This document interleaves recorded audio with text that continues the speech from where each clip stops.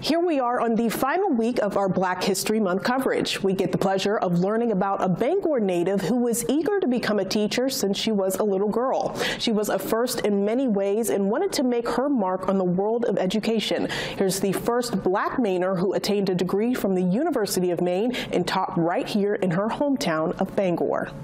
I swore when I taught that no one would struggle like I did. Nancy Dymond grew up right here in the Queen City. Her grandfather was the first to plant her family's roots in the Pine Tree State. His father came to Maine from Fredericton, New Brunswick, Canada, and he came to work um, in the woods, as a lot of people did back in those days. It was 1896. And then in 1901, my grandmother came over, and they were married here in Bangor and raised their 10 children on 4th Street. She and her two siblings graduated from Bangor High School. She traveled and lived in Boston for eight years until she had to come back home. My mom passed away, and I ended up a year after that moving back home and never thought I would be here this long. That was in 1990, so I've been back a long time. But, um, yeah, I made a life for myself here.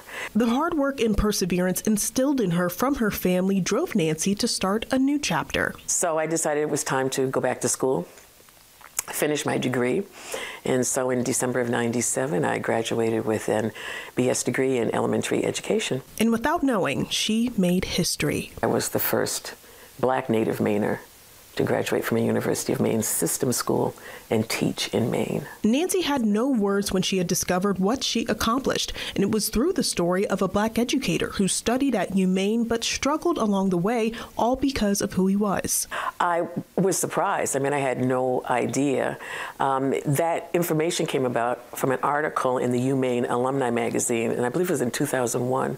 As Nancy reflected on this moment, she couldn't help but think about other educators who paved the way for her. We met a lot of black people who have received education degrees from the University of Maine, and um, a couple of local people, Johnny Eartha, who grew up in Houlton, and then, of course, um, Beryl Warner Williams.